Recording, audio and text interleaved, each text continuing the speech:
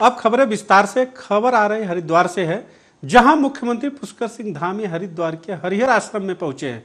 आपको बता दें कि कार्यक्रम में लोकसभा अध्यक्ष ओम बिरला भी शिरकत करते हुए नज़र आए हैं। हरिहर आश्रम में आचार्य महामंडलेश्वर स्वामी अवधेशानंद गिरी महाराज के जीवन पर आधारित पुस्तक तप और तपस्या का विमोचन कार्यक्रम में करने वाले हैं।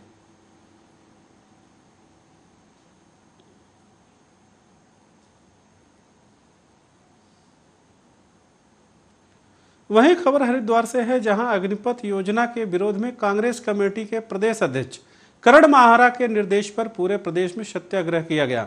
वहीं सत्याग्रह में शामिल विधायक रवि बहादुर का कहना है कि आज सभी कांग्रेसी सत्याग्रह पर बैठे हैं। यह सत्याग्रह देश के युवाओं को अग्निपथ योजना के माध्यम से जो ठगा जा रहा है, उसके खिलाफ हो रहा है और जो लगातार कई सालों से फौज में जाने के लिए तैयारी कर रहे हैं। यह योजना उनके सपनों को चकनाचूर करने वाली है। जो देश की सेवा करना चाहते हैं, ऐसे युवाओं को केवल चार साल के लिए सेना में लिया जा रहा है और यह युवाओं के मज़ाक ही तो हुआ है।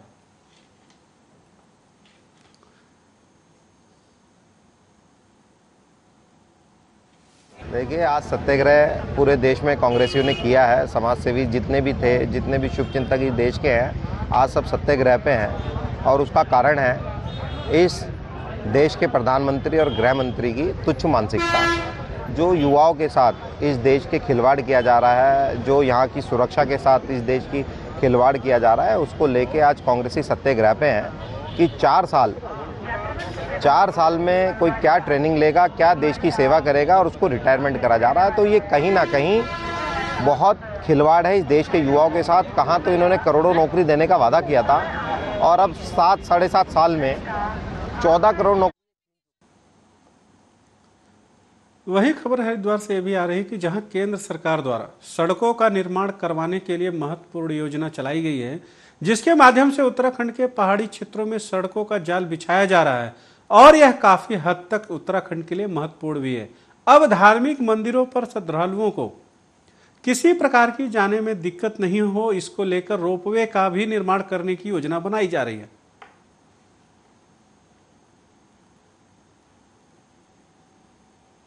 धन्यवाद करना चाहता हूँ कि वो पहले भारतमाला लेकर आए, भारतमाला परियोजना, जिस योजना, परियोजना में उत्तराखंड राज्य को सर्वाधिक लाभ मिला है। इस योजना के माध्यम से उत्तराखंड के एक कोने से सुदूरवर्ती दूसरे कोनों को जोड़ने का काम हुआ है।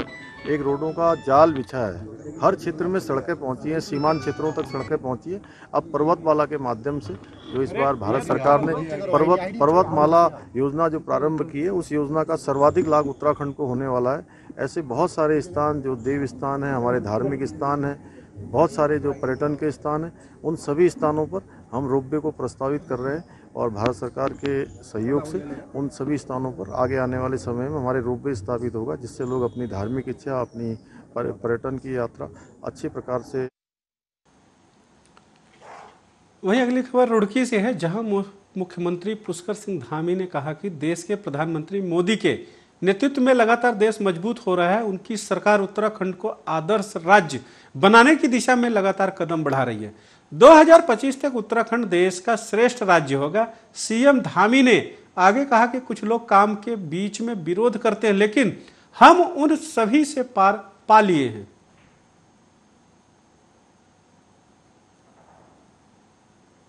सभी लोगों ने यहाँ पर आकर इतनी गर्मी में आशीर्वाद दिया है। हम सबके आभारी हैं और इनकी अपेक्षाओं के अनुरूप, चाहे रुड़की क्षेत्र हो, हमारा हरिद्वार क्षेत्र हो, हमारा उत्तराखंड हो, इसको आगे बढ़ाने के लिए हम और ज़्यादा अपना संकल्प लेते हैं। सभी के प्रति जो है हमारी जो उनकी अपेक्षा है उनकी अपेक्षा अनुरूप हम लोग काम करेंगे, हमारी सरकार काम करेगी। अभी माननीय निशंक जी इस क्षेत्र से लगातार यहाँ की पैरवी करते हैं। अब इनको राज्यसभा में कल्पना की गई है, वो भी लगातार पैरवी करेंगे।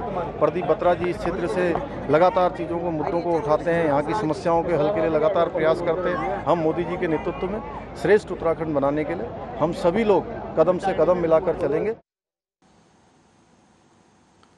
वही खबर रुड़की से है। दिल्ली सप्तरगंज अस्पताल से मरीज़ को ऋषिकेश एम्स ला रही एक एंबुलेंस का मैंगलोर के पास हाईवे पर एक्सीडेंट हो गया।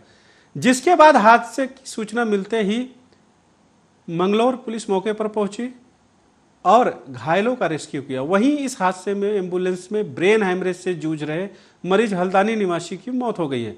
साथ ही इस दुर्घटना में एंबुलेंस चालक और मृतक की पत्नी को चोट आई है। जानकारी के मुताबिक हल्दानी निवासी गोपाल को ब्रेन हैमरेज होने के बाद पहले सुशीला तिवारी अस्पताल में भर्ती कराया गया था, जहाँ से चिकित्सकों ने उन्हें निजी अस्पताल में रेफर कर दिया। इस दौरान उनके इलाज में लाखों का खर्चा आया, जिसकी वजह से उनके परिवार की आर्थिक स्थिति काफ़ी खराब हो गई। वहीं गोपाल को आयुष्मान कार्ड का भी कोई लाभ नहीं मिला। यही हालत गंभीर रूप होने पर उन्हें दिल्ली के सफ्तरगंज अस्पताल में भर्ती कराया गया।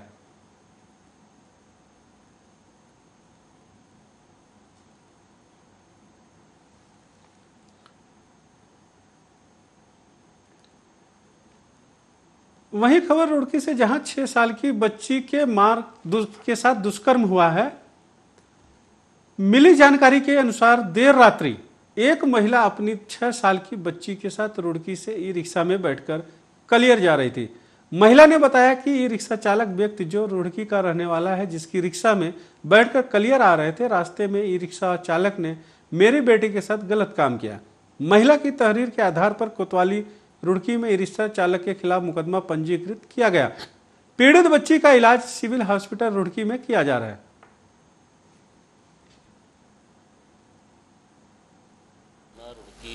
में एक मुकदमा पंजीकृत किया गया है, जिसमें एक नाबालिग बच्ची के साथ रेप का इंसिडेंट सामने आया है। उसमें जो बादिया है, उसके द्वारा एक पहचान भी की गई है। एक व्यक्ति के नाम के साथ उसको हम लोग सर्च कर रहे हैं और जल्दी इसमें जो भी वैधानिक कार्रवाई है, वो सख्त सख्त करी जाएगी। हाँ उसके द्वारा बताया गया है कि दोनों के साथ रेप का इंसिडेंट हुआ है। इस संबंध में पुलिस ने अभी पंजीकृत करके गंभीर धाराओं में अभी पुलिस के द्वारा हमें ये बताया गया रात, देर रात्रि, वो बच्ची, पाँच साल की बच्ची आई थी। इसके साथ में कुछ दुर्व्यवहार हुआ है और रात में बच्ची काफ़ी बीट भी कर रही थी। तो रात में माइनर सर्जरी कर दी गई थी और अभी हम लोगों ने अभी एक घंटे पहले उसकी पूरे मेजर सर्जरी करके उसको पूरा रिपेयर कर दिया है उसको लगता तो है बाकी चौबीस घंटे तो अभी देख ही रहे हैं उसको। हमारे यहाँ भर्ती है वो और डॉक्टर्स की सघन निगरानी में हैं और डॉक्टर्स को सख्त हिदायतें दे दी गई हैं कि पूरा उसका उसकी ट्रीटमेंट में किसी भी प्रकार की कोई कोताही ना बरती जाए और हम लोग अपनी तरफ़ से पूरे प्रयास कर रहे हैं कि बच्ची स्वस्थ होकर घर जाए। बच्ची की उम्र उसके माँ बाप के द्वारा जो बताई गई है वो पाँच साल के आसपास बताई गई है। मैं अभी कुछ नहीं बता सकता हूँ। जो भी इसका प्रोसीजर होता है, वो हमारा वहीं हरिद्वार मंडल, भाजपा मंडल कार्य समिति की बैठक का शुभारंभ हुआ है। इस मौके पर कार्य समिति की बैठक को संबोधित करते हुए आदेश चौहान ने कहा कि अभी 2024 आम चुनाव की तैयारियों में जुट जाना है। 2022 की प्रेजेंट जीत ने 2024 में जीत की पटकथा लिख दी है। वहीं विधायक ने कार्य समिति की बैठक में सभी पदाधिकारियों का सम्मान करता हूँ। बीजेपी ने के चुनाव में इतिहास रचा है, ये सफलता, सबकी सफलता की कहानी बयां कर रही है। ये कार्यकर्ताओं की मेहनत से ही संभव हो पाया। इसी धरती से अटल जी ने देश, दुनिया में उत्तराखंड का मान बढ़ाया और आज उसी तरह काशी से पीएम और उत्तराखंड से पुष्कर सिंह धामी जैसे नेता दुनिया भर में बीजेपी का झंडा बुलंद कर रहे हैं।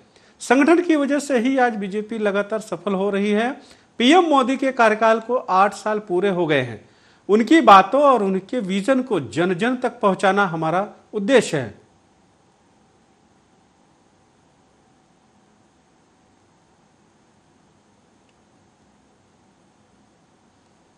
समय के बाद आज फिजिकली भारतीय जनता पार्टी मंडल शिवालिंग नगर की मंडल कार्य समिति की बैठक आज यहाँ आयोजित की जा रही है, क्योंकि पिछले दो वर्षों में कोरोना के चलते हुए फिजिकली इस तरह की बैठकें ऑर्गेनाइज नहीं कर पा रहे थे। तो मैं आज इस बैठक की व्यवस्थाओं के लिए, सुंदर आयोजन के लिए सबसे पहले तो अपने मंडल की पूरी टीम को बहुत बहुत बधाई देता हूँ। और जहाँ तक बात है कि संदेश क्या, हमने अपने राजनीतिक प्रस्ताव में वो सब बातों का उल्लेख किया है कि जो इस देश के यशस्वी प्रधानमंत्री वही किसान सम्मान निधि का लाभ लेने वाले में मुर्दे भी शामिल हैं। अभी तक आपने सुना होगा कि इनकम टैक्स वाले ही प्रधानमंत्री किसान सम्मान निधि योजना का फ़ायदा उठा रहे हैं, लेकिन यहाँ पर तैतीस हज़ार नौ सौ छत्तीस ऐसे किसान हैं जो दस्तावेजों में मृत होने के बाद भी किसान सम्मानित का लाभ ले रहे हैं। कृषि निदेशालय लखनऊ से भेजी गई रिपोर्ट में इसका खुलासा हुआ है। रिपोर्ट आने के बाद कृषि विभाग में हड़कम मच गया किसान सम्मान निधि योजना के तहत हर वर्ष किसानों के खाते में छह हज़ार भेजे जा रहे थे। जून माह में कृषि निदेशालय से उप कृषि निदेशक कार्यालय को उन किसानों की सूची भेजी गई है जिनकी मौत हो चुकी है। क्या है पूरा मामला और क्या कार्रवाई होगी ऐसा है कि जो हमको 2019 से जो है बरासतों की संख्या प्राप्त हुई है वो तैंतीस हज़ार सात सौ बरासतें दर्ज हुई हैं। अब इन विरासतें दर्ज होने के कारण किसान की डेथ हुई है। अब हम लोग इन तैंतीस हज़ार सात सौ किसानों का सत्यापन करा रहे हैं। एस और कृषि विभाग के माध्यम से जो है कि इसका सत्यापन हो जाए कि इस तैंतीस हज़ार सात सौ में कितने ऐसे किसान हैं जो पीएम किसान के लाभार्थी थे। अब जो लाभार्थी थे, उनको ये भी देखा जा रहा है कि क्या लाभार्थी थे। लाभार्थी होने के बाद उनका स्टाफ पेमेंट किया जाएगा। उनके पेमेंट आगे पेमेंट के लिए रोक दिया जाएगा। इसके बाद, सत्यापन के बाद ये भी देखा जाएगा कि उनकी पात्रता के बाद भी अगर कोई पीएम किसान निधि की धनराशि आई हुई है तो उनके बैंक के और उनके परिवारजनों के सहयोग से वो धनराशि सरकार को पुनः वही खबर लखनऊ से आ रही जहाँ शिक्षक अभ्यर्थियों ने मंत्री का आवास घेरा है। दरअसल, छात्र मंत्री गुलाब देवी के पास आवास पे पहुँचे हैं और ज्वाइनिंग को लेकर अपनी मांग उठा रहे हैं। जिसके बाद अब मंत्री गुलाब देवी ने शिक्षकों को वार्ता के लिए बुलाया है।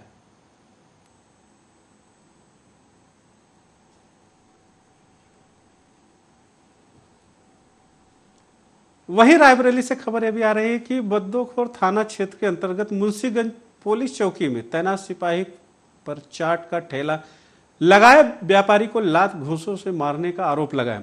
दरअसल मुंशीगंज बाज़ार में पटरी दुकानदार को चौकी के सिपाहियों ने बुरी तरह से मारा पीटा है।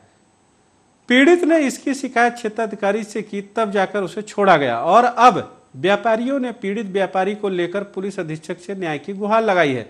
वही पुलिस अधीक्षक ने चौकी पर तैनात सिपाहियों पर कार्रवाई का आश्वासन देकर व्यापारियों को शांत किया है। मुंशीगंज की बाज़ार थी, रविवार का दिन था क्या आते हैं। गोखरन साहू जो कि एक चाट का व्यवसायी है ठेले पे चाट का काम करता है। दुकान लगाए हुए था बाज़ार के दिन थोड़ा भीड़ भाड़ का भी माहौल था। वहीं के चौकी का एक सिपाही गोकरण यादव वो ओंकार यादव जो कि आया और इसको गोकरण को कहते हैं मारते हुए पूरी बाज़ार में मारते हुए चौकी तक का ले गया और चौका चौकी में बैठाए रखा। वहाँ पर भी इसको थप्पड़ों से मार, मारा गया कहते हैं? उसके बाद जब जिला अध्यक्ष त्रिलोचन सिंह छावड़ा मामला चार ठेला जाते सवाई रो आए मारते ले गए हैं मारते हुए मुंशीगंज चौराहा। कौन सिपाही थे? ओंकार तीन सिपाही थे। यहाँ कहाँ पर आए? वहीं सीतापुर में झोला छाप डॉक्टर ग्रामीण यूँ की जान से खेलना कब बंद करेंगे? जहाँ झोला छाप डॉक्टर में से दवा करानी एक लड़के को भारी पड़ गई। वही इंजेक्शन लगाने के कारण हाथ खराब हो गया। आपको बताते चले कि पूरा मामला सीतापुर जनपद के सामुदायिक स्वास्थ्य केंद्र कसमांडा का है जहाँ पर पर बरेठी में झोला छाप डॉक्टर मूलचंद द्वारा एक किशोर का इलाज किया गया।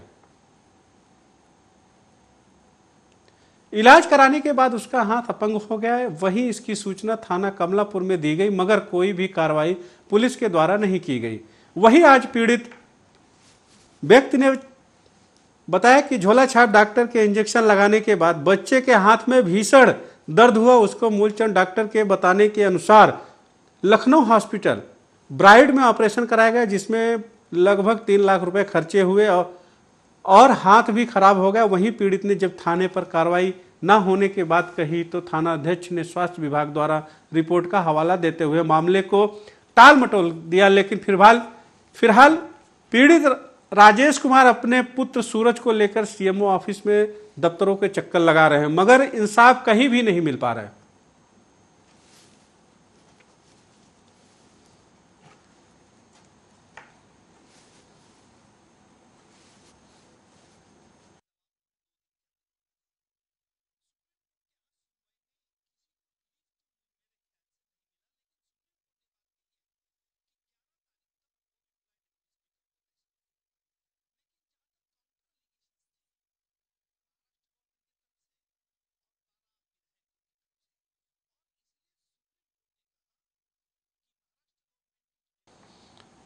वहीं देश के राष्ट्रपति रामनाथ कोविंद कृष्ण नगरी वृंदावन पहुँचे हैं, जहाँ राष्ट्रपति का स्वागत सीएम पीएम योग, सीएम योगी और राज्यपाल आनंदीबेन पटेल ने किया। राष्ट्रपति वृंदावन के बाके बिहारी मंदिर में पूजा अर्चना की, इसके बाद वो कृष्ण कुटीर आश्रम में निवासी माताओं के साथ मिले। इस दौरान आम श्रद्धालुओं के लिए मंदिर में प्रवेश बंद रहा। जनपद में हर जगह पर पुलिस बल के साथ पीएससी के जवान तैनात किए गए।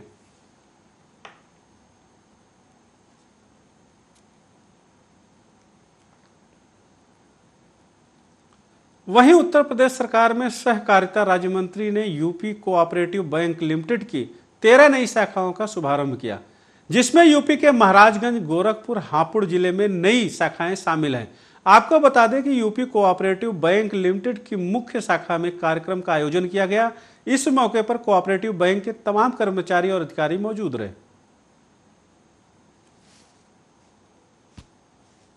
बैंकिंग के द्वारा मदद कर सके, ऐसा हमारा उद्देश्य है। हालाँकि उत्तर प्रदेश में हमारी जिला सहकारी बैंक है, उत्तर प्रदेश ग्राम विकास बैंक बहुत अच्छे ढंग से काम कर रही हैं, ग्रामीणों के लिए, किसानों के लिए। लेकिन उत्तर प्रदेश कोऑपरेटिव बैंक पूरी तरीके से रिज़र्व बैंक ऑफ़ इंडिया के रेगुलेशन के आधार पर काम करता है और जो सुविधाएँ नेशनलाइज बैंकों में हैं, वो सभी सुविधाएँ आरटीजीएस नेफ्ट से लगाकर हर प्रकार की सुविधाएँ हमारी उत्तर प्रदेश कोऑपरेटिव बैंक में है। हम नेशनलाइज बैंक से प्रतिस्पर्धा करते हुए उनसे बेहतर सहयोग, उनसे बेहतर तरीके की सेवाएँ उत्तर प्रदेश के नागरिकों को देने का प्रयास करेंगे। और इन 40 शाखाओं के साथ हमारा प्रयास होगा, इसी साल हम इन शाखाओं को बढ़ाकर 50 की संख्या में करें। और इसी जो हमारी सरकार चल रही है, पाँच साल के भीतर ही। हमारा लक्ष्य है कि कम से कम सौ ब्रांच वहीं खबर शाहजहांपुर से आ रही है कि जनपद में पुलिस ने साइबर अपराधियों के एक बड़े ऑनलाइन ठगी के अड्डे को तबाह कर दिया है। इस अड्डे को पाँच मास्टरमाइंड साइबर ठग चला रहे थे। ऑनलाइन ठगी के इस अड्डे को काट पुलिस और क्राइम सेल ने भंडाफोड़ किया आपको बता दें कि साइबर सेल क्राइम की टीम ने ऑनलाइन जन सेवा केंद्र से चार लैपटॉप दस मोबाइल फ़ोन और चार फिंगरप्रिंट स्कैनर एक हार्ड डिस्क अभियुक्त से बरामद किए। दरअसल शॉर्ट लिस्ट बताकर अपनी बातों में उलझाकर इंटरव्यू के लिए अन्य नंबरों से फ़ोन कर पूरी चयन प्रक्रिया बताते थे। इससे किसी को शक न हो और धोखाधड़ी कर लैपटॉप और मोबाइल में पहले से ही ये अलग अलग नाम की कंपनियों के नाम बनाए गए थे। और ऑफ़र लेटर को एडिट करके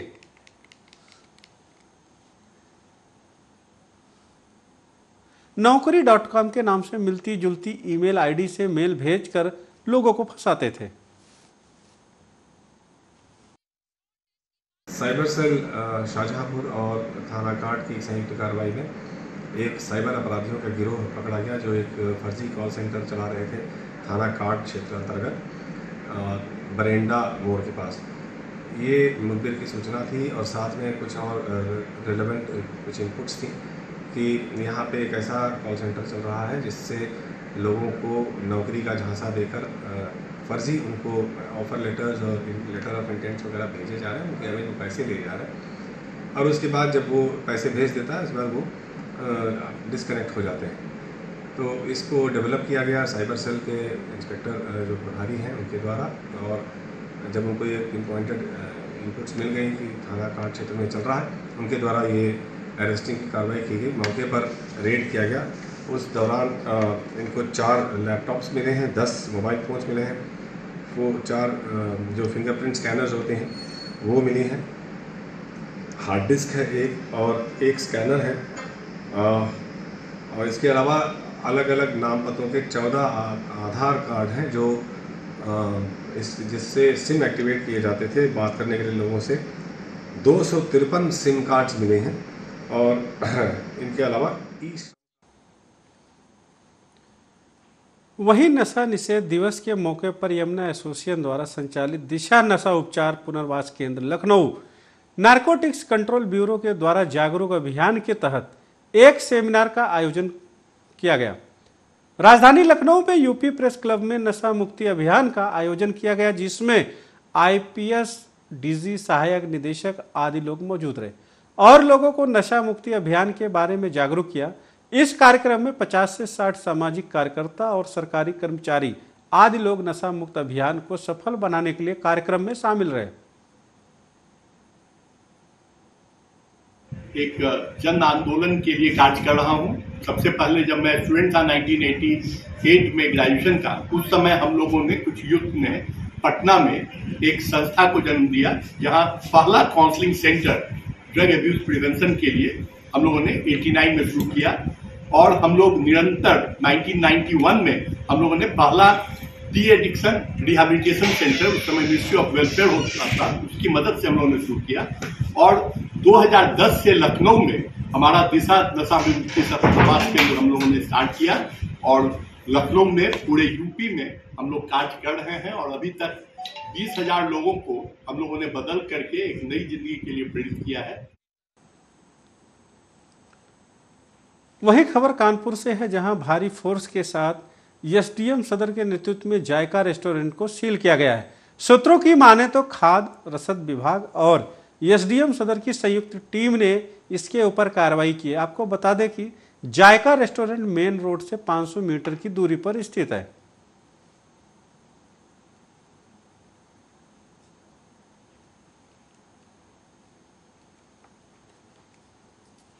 वहीं उधम सिंह नगर के रुद्रपुर स्थित भाजपा जिला कार्यालय पर आयोजित लोकतंत्र सेनानियों के सम्मान समारोह पर सूबे के मुख्यमंत्री पुष्कर सिंह धामी रुद्रपुर पहुँचे, जहाँ उन्होंने कार्यक्रम में 28 लोकतंत्र सेनानियों को साल उड़ाकर और स्मृति चिन्ह देकर सम्मानित किया। इससे पूर्व भाजपा कार्यकर्ताओं ने सीएम धामी के रुद्रपुर स्थित जिला कार्यालय पर पहुँचने पर जोरदार स्वागत भी किया। आपको बता दें कि भाजपा द्वारा आपातकाल के दौरान लोकतंत्र की रक्षा करने, संघर्ष करने और जेलों की यातनाएँ सहने वाले लोकतंत्र सेनानियों के सम्मान में सम्मान समारोह का आयोजन किया गया। बहुत धन्यवाद। बहुत उनका धन्यवाद कि प्रदेश के सभी विषयों पर, चाहे वो हमारा जीएसटी कंपनसेशन का मामला हो, चाहे हमारा एयरपोर्ट से जुड़े हुए मामले हो, बिजली परियोजनाओं की बात हो, मंदिर मानस खंड मंदिर माला मिशन की बात हो या हरिद्वार को जो है एक नए स्वरूप में विकसित करने की बात हो सभी पर माननीय प्रधानमंत्री जी से गृह मंत्री जी से रक्षा मंत्री जी से, सभी विषयों पर हमारे राष्ट्रीय अध्यक्ष नड्डा जी का मार्गदर्शन किया है। सभी का सभी का सकारात्मक रूप से और माननीय प्रधानमंत्री जी का तो उत्तराखंड के साथ एक विशेष लगाव है और लगातार वो उत्तराखंड के बारे में स्वयं भी चिंता करते हैं। कि कौन से काम कितने आगे बढ़े हैं, कितने आगे बढ़े हैं, लगातार उनकी समीक्षा करते हैं। मैं कहूँगा कि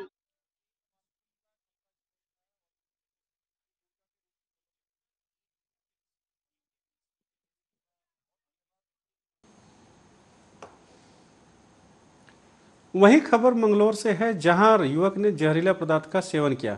दरअसल मंगलौर विधानसभा के गाँव बूढ़पुर के कार्तिक नाम का युवक ने जहरीला पदार्थ का सेवन किया गया। जिसकी उम्र 16 साल वर्ष बताई जा रही है कि वहीं डॉक्टर ने बताया कि आज युवक जो बूढ़पुर का निवासी है, उसे रुड़की सिविल हॉस्पिटल लाया गया। इससे पहले युवक के परिजन उसे नारसन ले गए थे। जहाँ से उसे रुड़की रेफर किया गया, युवक को वहाँ पर ट्रीटमेंट दिया जा रहा है, उसकी हालत में अब सुधार है। कार्तिक नाम का एक लड़का हमारे पास लाया गया, जिसकी उम्र 16 वर्ष है। इसके घर वालों द्वारा बताया गया कि इसने कुछ जहरीला पदार्थ खा लिया था। पहले इसको सी एच सी नासन लेकर गए थे, वहाँ से इसको रेफ़र कर दिया गया।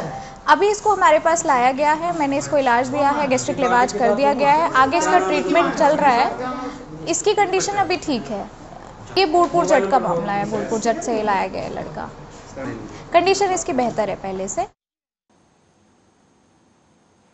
वही खबर हल्दानी से है कि हल्दानी के गोलापार स्थित अंतर्राष्ट्रीय स्टेडियम में स्विमिंग पूल शुरू हो गया है, जिसमें खेल विभाग की तरह सिखा रहे आपको बता दें कि खिलाड़ी स्विमिंग पूल वाले और नए बच्चे अगर अंतर्राष्ट्रीय स्टेडियम गोलापार में तैराकी सीखना चाहते हैं तो वह जिला खेल कार्यालय से रजिस्ट्रेशन फॉर्म भरकर तैराकी सीखने के लिए आवेदन कर सकते हैं। वही सहायक खेल निदेशक के मुताबिक स्विमिंग पूल में तैराकी के ट्रायल के बाद ही एंट्री मिलेगी।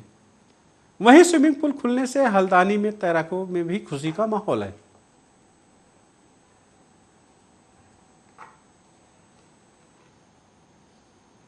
जिला खेल कार्यालय हल्द्वानी द्वारा जो स्विमिंग पूल का संचालन किया जा रहा है और इसको हमने 24 तारीख से हमने जनता के लिए जो है इसको ओपन किया है खिलाड़ियों के लिए।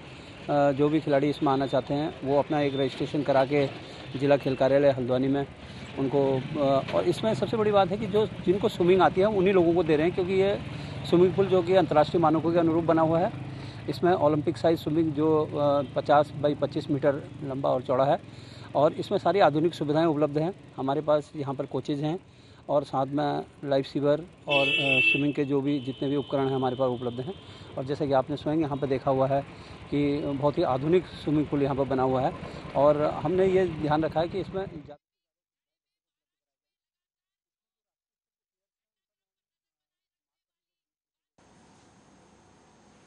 वहीं गाजीपुर खानपुर थाना पुलिस देर रात, देर शाम बड़ी सफलता मिली है। और गाजीपुर उसने क्षेत्र में शादी भादी गाँव के पास संदिग्धों और वाहन चेकिंग के दौरान जो बाइक सवार तस्करों को गिरफ़्तार कर लिया गया है, जबकि एक फरार हो गया है।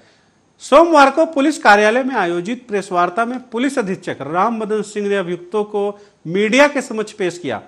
उन्होंने बताया कि फंदे में आए अभियुक्त सातिर किस्म के तस्कर हैं। उनके पास से भारी मात्रा में गांजा के साथ ही असलहा और कारतूस बरामद हुआ है।